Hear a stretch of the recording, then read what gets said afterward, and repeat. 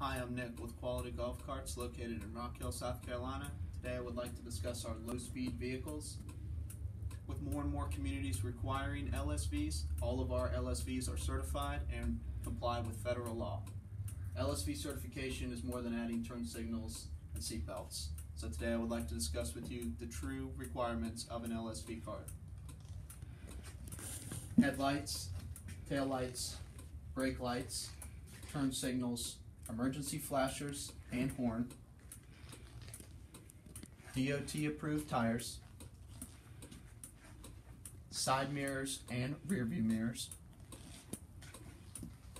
impact resistant DOT approved windshield and wiper, four person restraint system, speedometer, as well as DOT approved rear backup camera.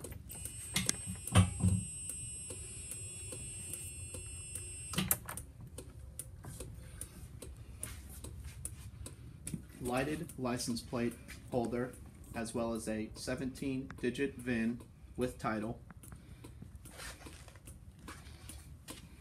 These carts also have a speed requirement of 21 to 25 miles per hour.